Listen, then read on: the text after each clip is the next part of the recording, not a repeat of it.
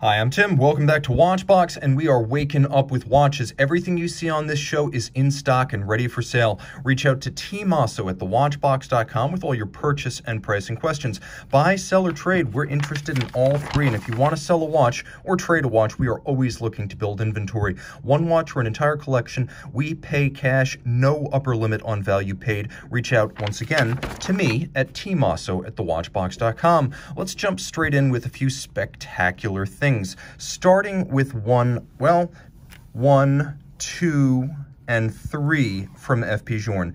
It's kind of a lot. Let's start with the basics. The Chronomètre Souverain black label. Now this watch representing perhaps the most elemental of the black label watches. Black label, by the way, only available from FP Journe boutiques and espace, and then only to prior purchasers of new FP Journe watches. They get the reserved black dial platinum case combination. No other Journe series will get black dial and platinum case but the black label. Now the watch is 40 millimeters in diameter, quite simple with the dial side power reserve, small seconds, and then those biomorphic tapered white gold Journe hands. Uh, you will note that the timepiece features a lovely, thin, and beautifully detailed case. Uh, the definition of the mid case is created by the overlapping lip of the case back and the bezel itself, and then you have that double dimple knurled style FP Journe crown. Flip it over, rose gold movement, this caliber 1304, which means 13 French lignes in diameter, and then work started on this movement in 2004 and it launched in 2005. Now it's 18 karat rose gold bridges and plates, so with a platinum watch and a rose gold movement, it feels quite hefty for its size. It exudes quality. Now you can see it is a fascinating movement architecture, not just finely finished, which it is, but thoughtfully laid out. You have the twin barrels to provide an even torque release from max wind to minimum wind, and then there's actually a hidden drivetrain with the train underneath the dial, and that's why there's a big open gulf between the barrels and the escapement, which seem completely isolated from each other. Throw it on the wrist. My wrist is 16 centimeters in circumference. Get a good sense of the watch's size. The watch is thin it, it's under 9 millimeters. You can also see it's not excessively broad across the wrist as with all 40 millimeter FP Journe watches, it's 48 millimeters from lug to lug, making it viable even on smaller wrists. So I'd say 13 and a half centimeters circumference, you can wear a 40 millimeter Journe. And you're going to want that flexibility because I have quite a few of them available today. Now, a lot of folks prefer the symmetrical dials on the Resonance series. I guess I'm the weird guy because I like the Resonance 3, which this is. After 2009, the original 1212 dial went away and we got this uh, more travel adept 24 hour scrolling display. I like to think of it as a winking watch, and that it certainly is. As you can see, the minutes scroll within the outer ring, which is in a 24 hour format. So the watch is a true dual time, but now it gives you the ability to distinguish between, for example, 5 a.m. and 5 p.m. Now, it's also worth mentioning that the watch, of course, is a resonance chronometer and it is a black label. So this one also 40 millimeters, also part of the ultra exclusive black label. Uh, it features the resonance phenomenon. So FP Journe took a principle that was well known in the worlds of pendulum clocks and metronomes that will eventually synchronize to each other if placed in proximity. And the parasitic emanations of friction and vibration that sort of radiate out from the escapements and the balances in the proper proximity, they will synchronize to each other. So if one slows down or speeds up, the other will auto correct it. Twin movements in one case, again, rose gold. Uh, the movements are not actually coupled by any mechanical means. So you have a barrel, a train, an escapement, and a balance, and you have two separate ones. There's a little rack and a pinion at the center with a gold pinion screw that can be used to adjust the distance between them to tune the resonance phenomenon. It takes about seven to 10 minutes to take purchase, which is why you will eventually see these seconds hands out of sync, even though the balance balances are in sync. So you use the flyback trigger down at 4 o'clock to synchronize those hands.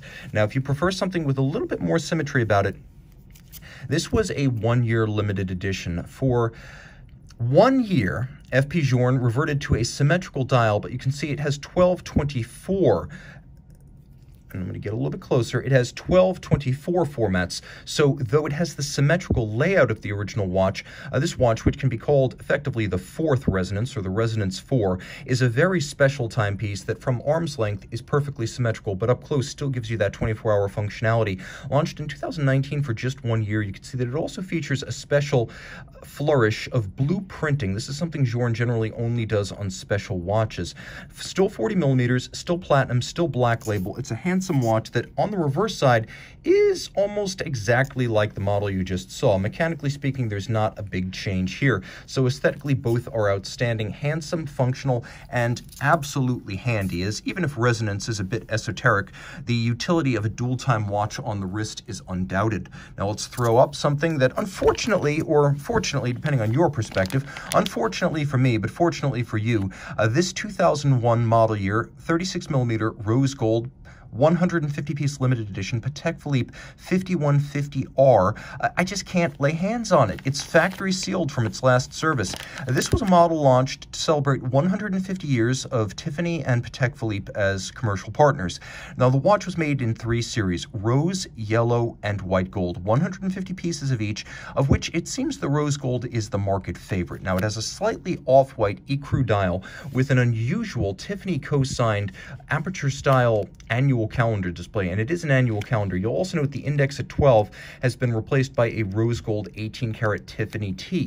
So this is almost a double Tiffany signed dial. The layout of the calendar is a little bit unusual, but it is also extremely easy to read because of the apertures. You can see the 36 millimeter case in rose gold is an officer's style case, and that means, of course, it does feature an officer style case with a hinged case back, and inside is caliber a 315 automatic winding annual calendar complication with a 45 hour power reserve. Again, you will lay hands on, I only get to lay eyes on, and I am quite jealous for that. Now let's take a look at something completely different. Let's talk about Omega Seamasters, because this is where my luxury watch career started. Let's start with one that came out just about a year after I first received my first Omega Seamaster. That was a graduation gift. This was a tribute to Jacques Mayol. It is a tribute to the legendary free diver, and it was designed with extensive input from the man himself. Now, it's basically a 41.5 millimeter Seamaster Diver 300 meters, so the original James Bond style Seamaster. There is an aluminum insert within the bezel, which is 120 click and can be aligned easily with the stylized hour or minute hands. You can also see, and we'll get a little bit closer here so you can see in better detail, there is a lovely vertical stainless steel-like satin grain to this dial, and you can see that the disc underneath that registers the passing minutes or the time elapsed, it's alternately a grained pebble-like or almost sandpaper-like surfacing in silver and then matte red. You'll also note that back in an era when the dials of the standard Diver 300 meters were printed, here we have applique indices.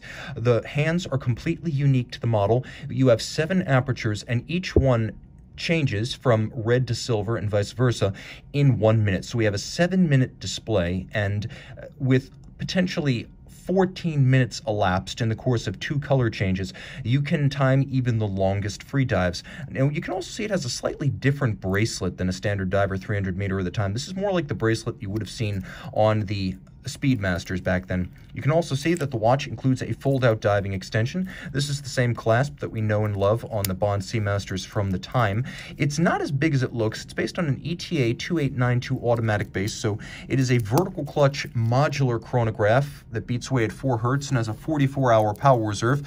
It is 300 meters water resistant, and it's not quite as big as, as it looks. On the wrist, you can see it's thick, but it's not excessively broad across the wrist, and it's probably one of the most fascinating fascinating and unusual Seamasters ever created. One of my absolute favorites, a very useful watch that has a completely original aesthetic shared with no other Seamaster or Speedmaster, a very special timepiece. And of course, on the case back, you can see a tribute to Jacques Mayol, who had a fascination, particularly with cetaceans and dolphins in particular. So a very cool watch and very emotional for Omega and Omega collectors. Now, this one right here is a little bit more recent. This is a 2020 model year launch, a combination of titanium bezel insert, laser ablated, and a 42 millimeter stainless steel case with a matte and polished ceramic dial. It is the Seamaster Diver 300 meter Nekton edition. Nekton, a nonprofit ocean conservation outfit that partners with Omega named its research submersible Seamaster 2, and you can see Seamaster 2 on the reverse side. But the Seamaster the watch Seamaster is the focus here. Technically speaking, it's identical to a standard diver 300 meter, but the look is unique. As you can see, you have that laser ablated frosted titanium insert within the bezel. Still have the helium escape valve, and while the dial is also ceramic, it's actually an invert of what you'll see on the standard diver 300 meter, which has a polished a set of raised waves and then recesses between the waves. Well, here, the recesses have in fact been raised, relieved, and polished, and the waves themselves are dropped and matte finished. There's a chaptering outboard, and inside we have a uh, 8800 series movement, so 55 hour power reserve, master chronometer, anti-magnetic silicon hairspring, and you'll also note that this watch is a no-date dial, so while you have a hacking seconds function, there is no quick set because this watch has no need of one. Quickly popping it open, and why not, right? Throw it on my wrist. It features a special strap that was designed just for the Diver 300 meter that folds nicely down and around the wrist. There's no fight or flare. The look is, well, the, the, look is modern. It's not oversized, but it's also not undersized, nor is it too thick to fit underneath the cuff because it doesn't have a display case back. It's a little bit thinner than a standard Diver 300 meter, which makes this a wonderfully talented all-arounder. Let's do a loom shot because this is a diver. Okay, so here's the diver 300 meter right here, and you can see that the minute hand and the bezel pearl are green to make it easier to tell them apart from the rest of the dial. And right here is the Jacques Mayol, which I think I should show because it is also a diving watch of sorts. So there you go. Two generations of Omega Diver. You know what? I'm, I'm not done with my loom shots. I've got a better one. I've got a better one for you. Hang in there, guys. Can you guess? Do you already know? By the way, take a look here. You can see that the numerals are actually three-dimensional blocks of Luminova. They tower over the dial. This is not a printed dial. And this is not a common Moser. This was a a 2019 launch, 42 millimeters in stainless steel, automatic winding with a three-day power reserve. Is the Moser Heritage Center Seconds Funky Blue. So you have the Moser vintage-inspired Heritage case, and this watch is a thinly veiled homage to the pilot's watches of the first third of the 20th century. You have Moser's traditional sculpted case flanks here with a shallow coining, a lovely oversized Moser-branded crown, wire-style lugs, a calfskin aviator strap with a contrasting stitch featuring a little bit of fauxtina, but fortunately Unfortunately, there is no Fauxtina on the dial. Now you have those solid applique blocks of Luminova for the numerals, a railroad track outboard for reading the seconds and minutes, loomed broadsword style hands, and that Moser funky blue color that fades from almost a cobalt metallic to nearly black navy blue at the edge. You do have hacking or stop seconds. Flip it upside down, caliber HMC 200, bidirectional winding with a magic lever style pawl-based winding system. It is a 72-hour power reserve. Beats away at 21,600 vibrations per hour, and you can see that the hairspring, the balance, and the escapement are all of Moser's own construction via their precision engineering subsidiary tungsten rotor, double-crested Cote de Genève on the bridge with engine turning on the base plate. Note that it uses a full balance bridge with a free-sprung index for shock tolerance. So while the look is vintage, the watch is actually quite hardy on the wrist. It's a sports watch, and though a 42 millimeter, it doesn't look like a 42 because of these spare wire style lugs. Think Panerai Radiomir, and at least in terms of ergonomics, you have the general idea. And as you can see, it is quite thin for an automatic winding extended power reserve sports style watch. Moser continues, and one might even argue ups the ante here. This was a late 2018 announcement for the 2019 model year, but is the Pioneer Tourbillon, and it does feature a signature fume fade in blue over a flying tourbillon. Once again, Moser, through Precision Engineering, its subsidiary, creating all the tough parts of this movement, the balance, the twin horizontally opposed hairsprings, the escapement, all of that. And let's get a little bit closer. You can see it's a flying tourbillon because there's no upper bridge to obscure your view of it. You see the two stud holders, both black polished, and by having two hairsprings, flat hairsprings, horizontally opposed 180 degrees apart, in one position, one of those hairsprings will cause the balance to slow down, the other will cause it to speed up. They cancel out change the position, and now the other one speeds up and the other one slows down. They cancel out again. Reclaiming the original chronometric intent of the tourbillon, the horizontally opposed 180 degrees out of phase hairsprings make this not just an impressive feat of engineering, from a visual standpoint, but also a real chronometer style watch in the traditional intent of the tourbillon. Stainless steel, 120 meters water resistant, fully loomed, automatic winding, and in spite of the power intensive complication here, we still have a three day power reserve. It's a bigger watch, 42.8 millimeters. You can see on my wrist, this is probably the smallest wrist that would wear this watch, maybe 15 centimeters circumference. Once again, my wrist is 16 centimeters circumference. take a look down the barrel to get a better sense of the fit. Over the top, you can see it's right out out to the edge of my wrist. It's thick, but not comically so for a multi-complication. Now, if you turn the watch over, you can see there's a little bit more finery.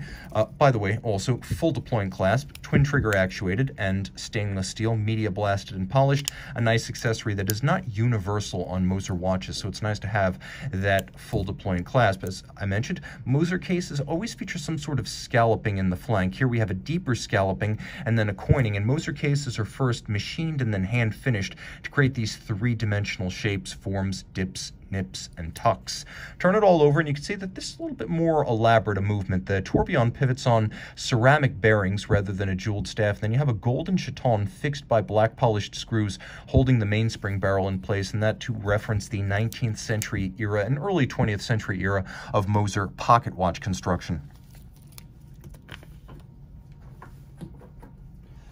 Talk about two rather spectacular sports watches in titanium. This is a model that was launched last year, the Greubel Forsey Balancier S, 18 pieces limited edition, grade 5 titanium externally, 100 meters water resistant, manual wind, 3-day power reserve, loomed, and as you can see, it's exactly 45 millimeters across and just under 40 millimeters from bezel tip to bezel tip, which is the maximum distance across the wrist. Now, what you might not notice at first glance is that this watch also features a blued grade 5 titanium movement and a lovely a cambered case back that allows it to flow over the wrist, wear easily. You can see the edges of this case are nowhere near the edges of my wrist, so you might even be able to wear this on a wrist as small as 13 and a half centimeters circumference. It is not thin, but then again, you don't wear a Greubel Forsey to make it disappear, and it is supremely comfortable. The finishing and engineering, absolutely without compromise. I'm going to try to pop this strap off the buckle real quick so you can get a better look at this watch, because the case back here is an event. 18 pieces. You can see it features a double deployant twin trigger clasp that features several different finishings, including media blasting and polish. Uh, the same is true of the case. As you can see, polished highlights, the super graphics that collectively, in French, describe Greubel Forsey's philosophy of building watches. The company making between 100 and 120 watches a year out of La Chaux de Fonds. They have about 100 to 120 employees to do that, and that one-to-one -one ratio of employees to watches made speaks to the level of finishing that's executed on these watches. Titanium here will be hand-finished and beautifully blued. The screws are the proverbial 100 Swiss franc screws. They feature chamfered slots, circumference, black polished tops, and polished pilots. You can see the barrel with its own graphics, and the timepiece of course, with an enormous free sprung balance adjusted in six positions. You'll note not only is it free sprung for toughness and precise adjustment, but it also features a handmade overcoil hairspring with recessed gold balance bolts. Now, the watch has a power reserve indicator on the dial side, and as you can see on the reverse side, the watch does include a dramatic set of blued bridges. Note that the pivot jewels are set in golden chaton a la pocket watch, and that we have no shortage of sharp interior angles where two bevels meet, plus these lovely polished ridges that rise up at the edge of the bridges, and the wheels themselves feature chamfering on their interiors, something that even many Geneva hallmark movements do not include. A very special watch, and again, one that's not afraid to get wet, a rarity amongst the ultimate in haute de gamme sports timepieces. Remember, Journe sports watches, for the most part, look aggressive, but you can't swim with them. Greubel Forsey gives you the full package. Now, here's one that uh, frankly is a little overlooked. I often call the DB25 the point of entry into the De Bethune brand for those who don't necessarily want an exotic looking watch, but the DB27 gives you a nice middle ground between the uh, conventional forms and dials of the DB25 cases and, of course, faces, uh, and then the DB28's extravagant floating lug, open dial, open movement type architecture. So here we have a conventional solid dial, but we have the floating lugs of the famed DB28 for variable geometry adjustment to your wrist size. Now it's 40 43 millimeters in grade 5 titanium, but only 12.2 millimeters thick. So make no mistake, this bullhead setter and winder is very much a wearable watch, slim and cuffable. Grade 5 titanium is super light and more scratch resistant than 316 steel. And you can see this model, which launched in 2012, is the first generation DB27 Titan Hawk. So it features the six-day automatic winding power reserve rather than the post-2018 60 hour. The 2018 60 hour is a little bit more accessible financially.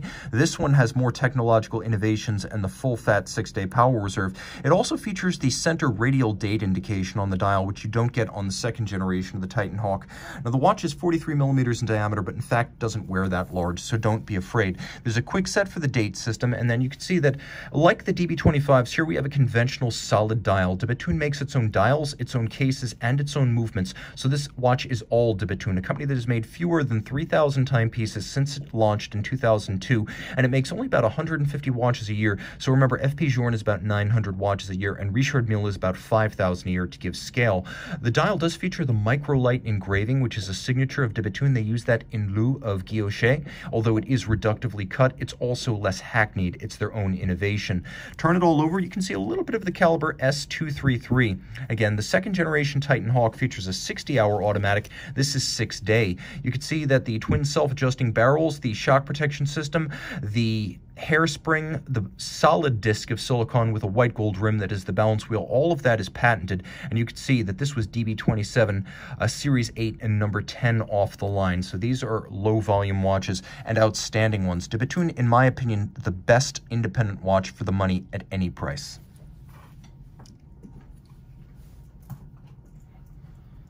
Talk about Rolex a bit. I know, you've had enough Rolex with watches and wonders, but we're going to turn back the clock first to 2015. Uh, what we've got here is an Oyster Perpetual 39, 39 millimeters, and it's got a lovely anthracite dial with cyan blue accents. And of course, this is the 114300. It's got a lovely domed bezel, evocative of the original 1933 Oyster Perpetual, the so-called first of the bubble backs that pioneered the combination of the Oyster water-resistant case with the Perpetual automatic winding system. Now, it's a lovely watch. It's a chronometer. It's 100 meters water-resistant. It's automatic winding. It's well-loomed. This is a watch you can wear full-time. Comfortable and relatively devoid of hype, the Oyster Perpetuals trade for honest value. That is, they trade for a value that accurately represents the engineering and the attention to detail that goes into their construction. The hype factor on these is not high, so if you want to get into Rolex without spending a mint or waiting a year, this is a great way to do it, with a watch that is the closest living descendant of that original Oyster Perpetual. Now, taking a quick look at a watch that launched last year, this is an evolution of 2012 Sky Dweller, but distinctly sportier. You've got a rose gold case, 42 millimeters, Everose, as Rolex says, because it will not fade or oxidize over time, so the shade of that rose will not dim. It also has what Rolex describes as a chocolate metallic dial, which is lovely and features rose gold hands and indices and a lot more lume than the earlier Sky Dwellers did. But the big innovation for last year was the arrival of Oysterflex. It is actually a nickel titanium alloy underneath the rubber sheath, so this is properly speaking a bracelet with a rubber sheath. Now, big upgrade from the first Oysterflex straps. Here we don't have the EasyLink system. To make it easier to make friends with a strap that after all can't be cut through because of the metal, there is a Glidelock style folding and sliding adjustment system just like what you'll find on a Submariner or Sea Dweller with two millimeters of incremental adjustment. Let's zoom out a little bit, take a quick look. The watch is very sporty, highly loomed, three-day automatic winding, 100 meters water resistant. It's both a GMT with a 24-hour second time zone, and a clever annual calendar system that needs to be adjusted only once a year during the jump from February to March, and it is bidirectionally settable. You use the bezel to put the watch in its various setting modes. So, for example, with the bezel justified all the way clockwise, I pull the crown out and nothing happens. I can wind it, but I don't need to because it's automatic. Then I turn one click counterclockwise, and now I can actually drive the date forward or backwards. See how there's that little index right next to the hour hands? There are these 12 apertures corresponding to 12 months. So for example, we have one, two, three, four months, and that's the fifth. So we are looking at April 5th. That's the date you're looking at. Note that I can drive that system forward or backwards because it is wheel-based right here. It is not going to crash if I adjust it backwards. Now, of course, turn it one more click, and now I can adjust that local hour hand, turn it one more click, and now I will be able to adjust the second time zone as well as the local time zone, and everything is now in sync. You'll also note one more thing. When you turn all the way counterclockwise, you activate hacking seconds. But if you want the ultimate in bourgeois Rolex decadence, if you want to be a, a true shall we say, aristocrat among aviators, then you want the original Rolex pilot watches. Well, it's not the original pilot watch. There were some suited to aviation prior to the late 1954 debut of the GMT Master, but this is the classic Rolex pilot watch. And as I mentioned, it is an aristocrat. This model launched for 2019. It is the 126719 BLRO, which is the Pepsi on an oyster bracelet, but with meteorite dial, and it's all white gold. This is a timepiece that is without a doubt rarefied air, even for a high-flying aviator's timepiece from Rolex. 40 millimeters, fairly thin. It can tell you three time zones temporarily if you set the 24-hour hand to Greenwich Mean Time. Ceramic bezel insert. The bezel is white gold. The insert is ceramic, and then the wells with the indices and numerals, that's actually a light platinum fill. The dial is meteorite with the Widmanstätten patterns, and it's made of iron. So you have these uh, sort of metallic grains that are stabilized, first oxidized and then stabilized to create the Widmanstätten, and they will never further oxidize. It will always look like this crystalline metallic flake pattern, and no two will ever be exactly alike. It's also 100 meters water resistant, has a 70-hour power reserve. It's chronometer, anti-magnetic, and shock resistant. So while it is without a doubt uh, a timepiece that will be rare, rarely seen, and ultimately upper crust in any company, this is a timepiece that is nevertheless able to get rough and wild. Swim with it, shower with it, live with it on your wrist. It's a Rolex, so it's tough enough to do it. But again, all in white gold with a meteorite dial, this is a timepiece that's comfortable amongst the ranks of Richard Mille and Patek. It's amazing what you can do in steel these days. You can do an ultra luxury dive watch or a high complication. Let's talk about this watch first, because of the two, I have to admit this is a sentimental favorite. If you remember the Doctor Strange from the movie of the same name, he had a very similar model. This one launched in 2016 is the same basic post 2013 Master Ultra Thin Perpetual Calendar, but this 2016 model features a steel case and a black dial. Now it's 39 millimeters by 9.4 millimeters thick, automatic winding, 43 hour power reserve, caliber 868. Stop seconds. It features a perpetual calendar system designed by IWC's watchmaker Kurt Klaus. Seen on many IWCs, the main difference is that IWC makes you adjust it through the crown, uh, and it's really geared quite high. So with the IWC, people often accidentally set the calendar forward. It cannot be set back when they're trying to set the time. So JLC uses a pusher adjuster. Everything is programmed, so it's a perpetual calendar. It can deal with leap years, can deal with irregular length months. Uh, but what happens is you just push the trigger and everything indexes uh, the day, the date, the month, the moon phase, the year. So you just Press it a couple of times to catch up to your current date, and everything will move in synchronized fashion so you don't have an impossible combination of years, months, dates, days, and moon phase. Flip it all over, and you can see it is possible to see and appreciate caliber uh, 868. It is a combination of machine finish and hand finish, worthy of other companies that do this, for example, Zenith and Audemars Piguet. It's free sprung for stability. It features a unidirectional winding system with ceramic bearings, a 4 hertz beat rate. It does have hacking seconds. There is a free sprung balance architecture for toughness and precise adjustment. My favorite refinement is the use of true fired blue screws, so kiln oxidized blued screws here, and the watch includes a full deploying clasp in matching steel, something that you don't see universally anymore on JLC watches, even on complications as they try to cut back on costs. Uh, this is a watch that makes very few compromise and represents the best of what Jaeger-LeCoultre has traditionally been. Now, if you want to talk about another steel sports watch, uh, this one for the diver, or perhaps the armchair diver, the desk diver among us 40.3 millimeters in stainless steel, 13.3 millimeters thick, and under 47 millimeters lug to lug. This reference 5008 Blancpain 50 Fathoms mil spec is a very special watch. Now, it is the 500 piece limited edition mil spec from 2017, so this one has a date. Unlike the subsequent Hodinkee, it does have that extra functionality. It does have a full sapphire capped bezel, and instead of the standard 50 Fathoms applique indices. Here we have printed features designed to evoke the late 50s mil-spec watches.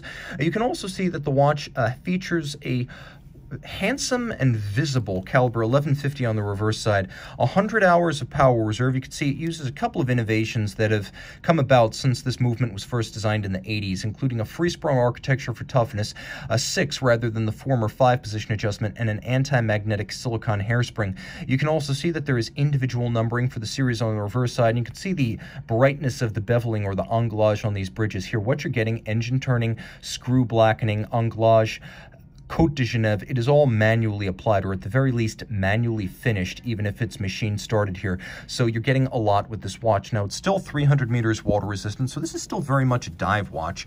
Throw it on the wrist, not to be confused with the Hodinkee, which is brushed steel and features a no-date dial. This is a little bit more practical as a daily driver. You can see at 13.3 millimeters thick, it will fit underneath most cuffs. In fact, it's already ducking under my cuff right here. It is very well loomed, and in fact, I should do a loom shot.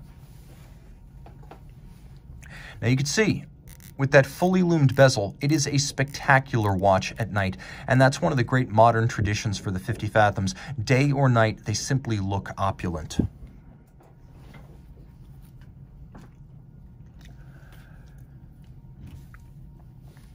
Okay, it was always going to end with this watch because this watch is a living legend. Originally launched in 2008 and built in only 16 pieces, this is the De Bethune DB26 Perpetual Calendar, the first of the line to use the famed floating lugs. Now, this model is rose gold with titanium floating lugs. It was the first time ever that De Bethune used this patented and soon to be famous variable geometry case sizing. Now, while the watch is 44 0.4 millimeters in diameter. It is quite thin and it doesn't wear as an enormous watch. De Bethune once again making cases, dials, and movements. You can see all of them are highly specialized. Here using sapphire hands for the first time so you can more easily see the indications of the calendar. There's a lot going on here as we have an aperture style uh, set of calendar readouts. You can see that we have a spherical moon phase. I'm going to try to show you that, but one half is blued steel, one half is white palladium. It has an adjustment interval of 122 years. You do have the perpetual system, a satin matte dial, and then outboard we have these lovely fired blue cabochon for the hours. They're actually fired blue titanium. And flip the watch over and you can see De Bethune's in-house caliber 2005, and there is a lot to love here. First, you can see that the shock protection system, the balance bridge, and the springs, entirely hand-finished, with the bridge itself black polished, and then the springs beveled to a mirrored shine on their edge, and then satin finished on their top. Note the traditional Cote de Genève, here known as Cote de Bethune. You could see right here that they actually reverse the wheel that lays down the stripes, which is why their dark facet is facing outboard on each side. They actually split the bridges down the center and then they finish each one with a reversed wheel to create that outward facing gradient. Twin barrels, self-adjusting, this watch, despite being a perpetual calendar, has a five-day power reserve. Now you can see that the balance wheel is not a wheel, it is a yoke. It's made of titanium with bulbs of platinum, and that's patented. The hairsprings patented, the triple shock protection is patented, the twin self-adjusting barrels are patented, the floating lugs are patented, the perpetual calendar is patented, the fire bluing of titanium is patented, and you can see that it is a very traditionally finished watch in spite of its extravagant aesthetic, with satinated barrels, wheels, and mirrored anglage on the edge of the springs, the balance, the shock protection springs, the balance bridge, and also the edge of the barrel bridge with black polished screws. This is an extraordinary way to get into an extraordinary brand. De Bethune timepiece is rare. De Bethune filing an enormous number of patents for basic scientific innovations that find their way into those 150 watches a year. That's how you know you're getting what you pay for here. They're not assembling parts, they're building all the parts. And more than just building all the parts, they are engineering all the parts. The best way to get into independent horology and my favorite brand, bar none. If you like what you see, reach out to me, T. Mosso at thewatchbox.com for purchase pricing and availability details.